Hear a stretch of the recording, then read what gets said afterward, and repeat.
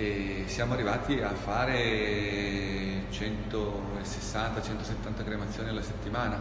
Cioè, per noi è sempre stato tassativo il massimo rispetto per i defunti, però per esigenze di spazio siamo stati obbligati a tenere i feretri appoggiati in terra sopra i bancali.